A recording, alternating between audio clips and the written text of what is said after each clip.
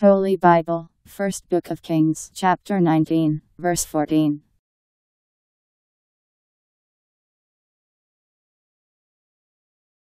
And he said, I have been burning for the honor of the Lord, the God of armies, for the children of Israel have not kept your agreement. They have had your altars broken down, and have put your prophets to death with the sword, till I, even I, am the